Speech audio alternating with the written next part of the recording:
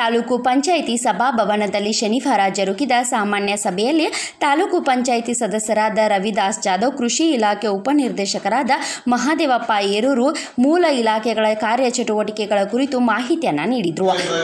ಕೃಷಿ ಇಲಾಖೆಗೆ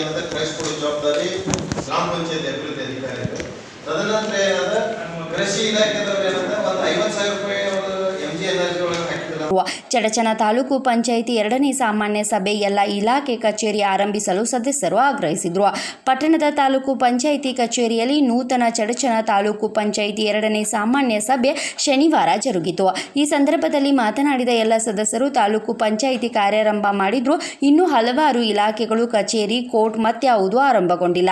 ಕೂಡಲೇ ಎಲ್ಲ ಇಲಾಖೆಗಳ ಕಚೇರಿಗಳನ್ನು ಆರಂಭಿಸಬೇಕೆಂದು ಒಕ್ಕಲಿನಿಂದ ಆಗ್ರಹಿಸಿದರು. ಸಭೆಯಲ್ಲಿ ಮಾತನಾಡಿದ ಇಂಚಗೇರಿ ತಾಲೂಕು ಪಂಚಾಯಿತಿ ಸದಸ್ಯರಾದ ಡಾಕ್ಟರ್ ರವಿದಾಸ್ ಜಾಧವ್ ಕೃಷಿ ಇಲಾಖೆಯಲ್ಲಿ ಕೀಟನಾಶಕ ಮಾರಾಟದಲ್ಲಿ ಗೋಲ್ಮಾಲ್ ನಡೆಯುತ್ತಿದೆ.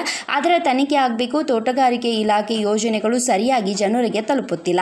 ಸಮಗ್ರ ಇಂಡಿ ತಾಲೂಕಿಗೆ ಬಿಡುಗಡೆ ಆಗುತ್ತಿರುವ ಅನುದಾನದಲ್ಲಿ ಚಡಚನ ತಾಲೂಕಿಗೆ ಅನುದಾನ ನೀಡುವಲ್ಲಿ ತಾರತಮ್ಯವಾಗುತ್ತಿದೆ ಎಂದು ಅವರು ಹೇಳಿದರು. ಕೊರೋನಾ ಮಧ್ಯೆ ಹೋಟೆಲ್ಗಳು ಕಾರ್ಯನಿರ್ವಹಿಸುತ್ತಿದ್ದರೂ ಸ್ವಚ್ಛತೆ ಹಾಗೂ ಗುಣಮಟ್ಟದ ಆಹಾರ ಪೂರೈಕೆ ಮಾಡುತ್ತಿಲ್ಲ.